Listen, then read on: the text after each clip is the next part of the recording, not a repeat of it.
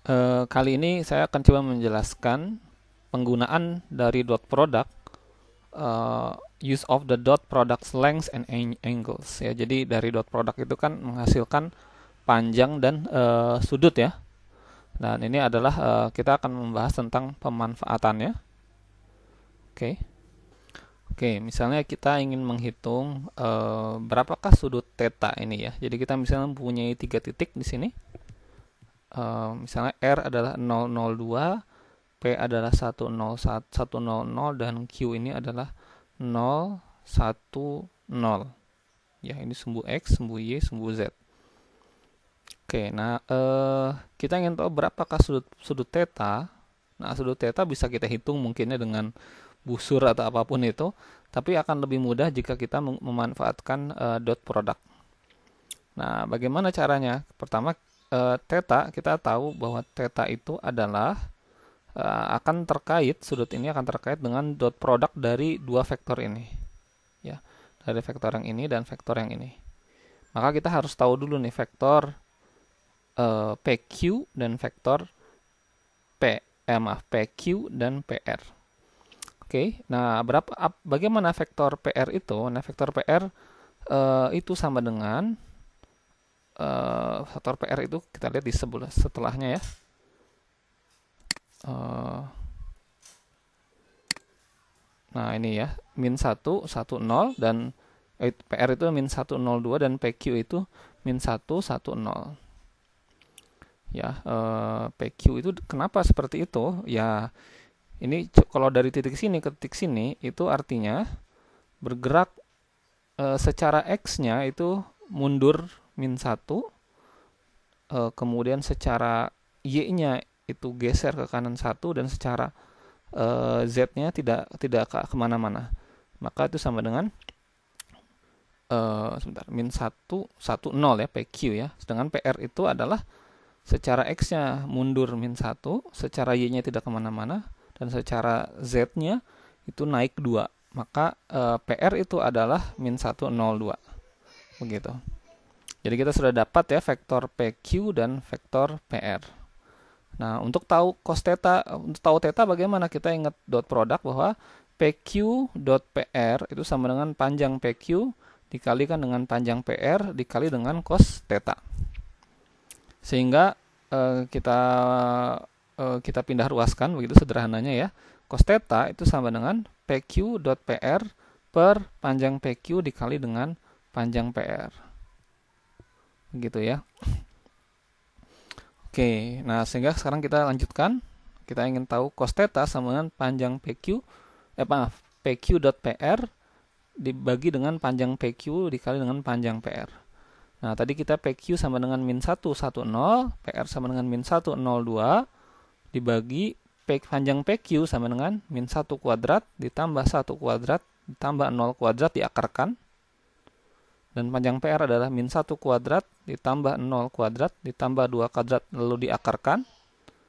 Nah dikalikan maka hasilnya dan dot produk bagaimana? Min 1 kali min 1 hasilnya 1 1 kali 0 hasilnya 0 0 kali 2 hasilnya 0 dijumlahkan hasilnya jadi 1 yang ini hasilnya adalah jadi akar 2 yang sebelah sini hasilnya jadi akar 5 akar 2 kali akar 5 sama dengan akar 10 jadi hasilnya adalah 1 per akar 10.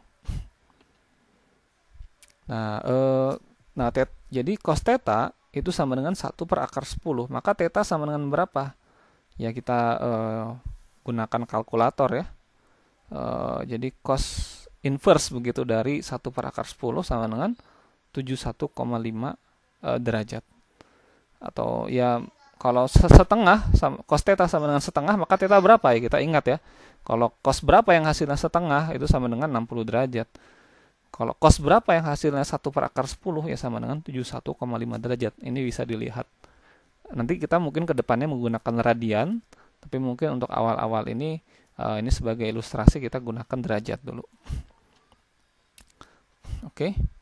Kemudian dari sini juga kita bisa melihat menyadari bahwa A dot B itu juga menjadi uh, pertanda ya apa sign atau negatif atau positifnya dari hasil dot produk A dan B itu menunjukkan apakah sudutnya itu lancip atau tumpul atau siku-siku. Kalau lancip, maka tetanya itu kurang dari 90 derajat.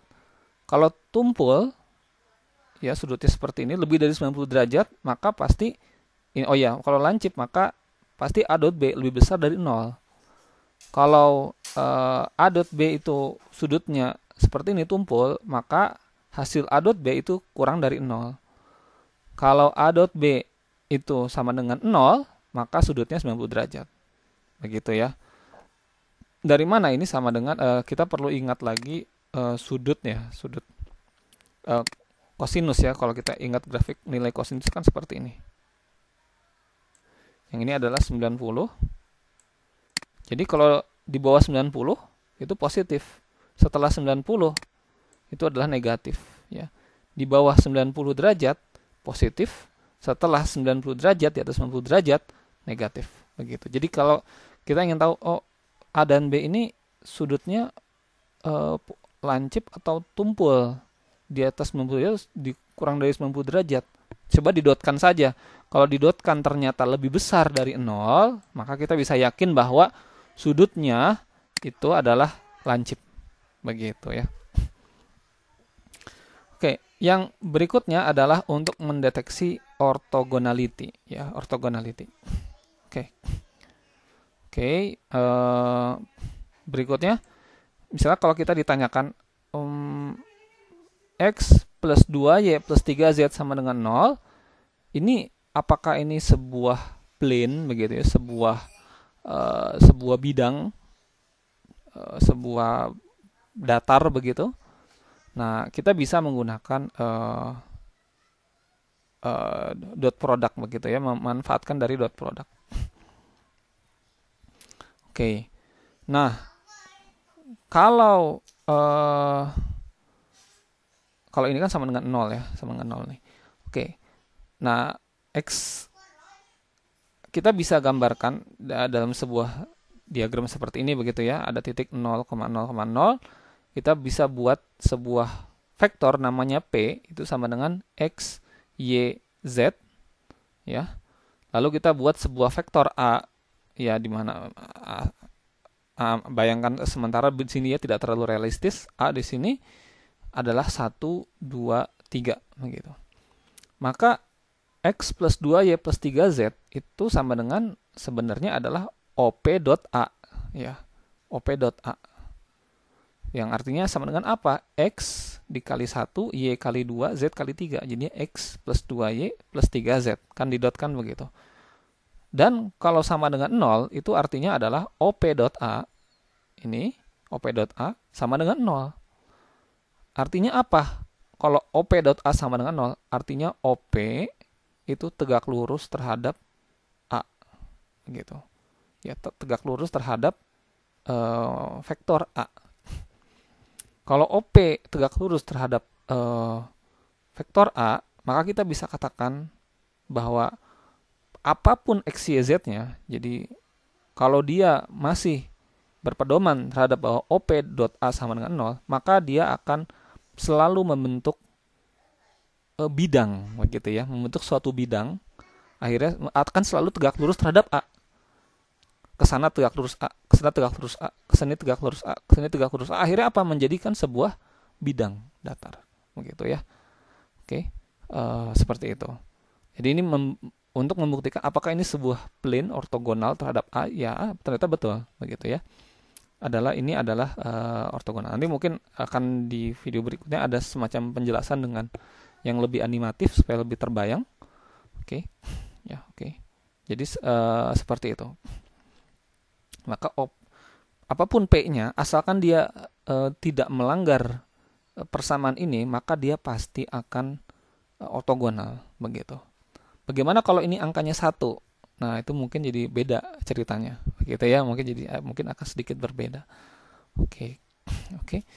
Nah, itu jadi yang manfaat kedua adalah untuk uh, apa? mendeteksi ortogonalitas. Oke. Okay. Uh, eh, jadi get plane through zero perpendicular to A ya. Jadi selalu uh, apa ibaratnya tegak lurus begitu ya terhadap A. Dan kita ingat A dot B sama dengan 0, maka cos theta sama dengan 0, maka theta sama dengan 90 derajat. Maka A tegak lurus terhadap B. Jadi akan selalu uh, kalau kita uh, si X, Y, Z-nya itu terkungkung oleh persamaan ini, terkungkung oleh OP dot A sama dengan 0, maka P-nya ini akan selalu tegak lurus terhadap A kita punya berapa mungkin kemungkinan P kalau dia selalu tegak lurus A, maka kumpulan P, P, P, P, P ini akan membentuk sebuah bidang, begitu ya, akan membentuk sebuah bidang seperti itu. Oke, okay. ya, uh, nah itu mungkin sampai sini dulu.